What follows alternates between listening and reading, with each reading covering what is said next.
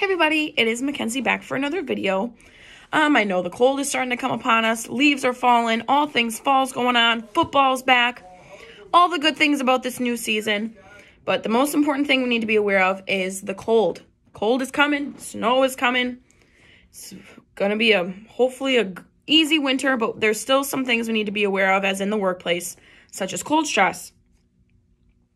I want to address these things now before it does get too cold and before ha things happen in the workplace that can affect our employees.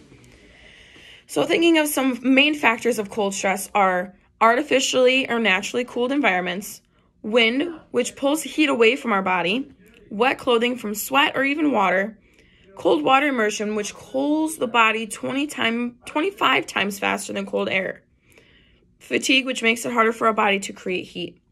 Cold stress obviously can lead to hypothermia. It's a gradual process that can happen slowly, and workers may not even realize they're in danger before it's too late. Obviously, feeling cold is a first warning sign. Um, and if they feel cold, that means their body's obviously losing heat faster than their body is making it.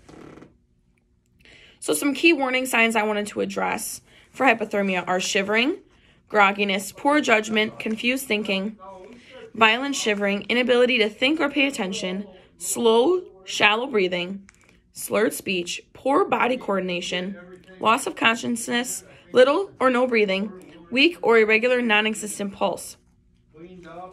Now, as it being in the workplace and as leaders, how can we prevent this happening to our employees? Here are some ideas elimination or substitution. Can work be done in a different environment?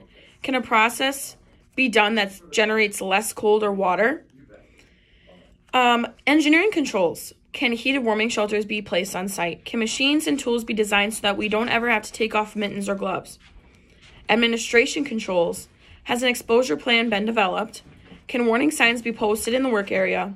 Can work rotation be used to decrease cold exposure? Can signs explaining exposure symptoms be posted? Can written safe work procedures be posted? Can work be paced differently so that workers don't have to exert themselves to the point of heavy sweating?